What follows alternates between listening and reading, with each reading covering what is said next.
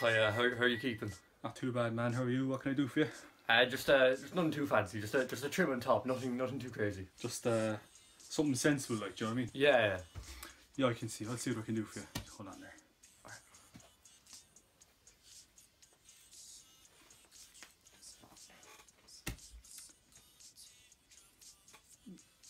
Ten quid, please. Okay.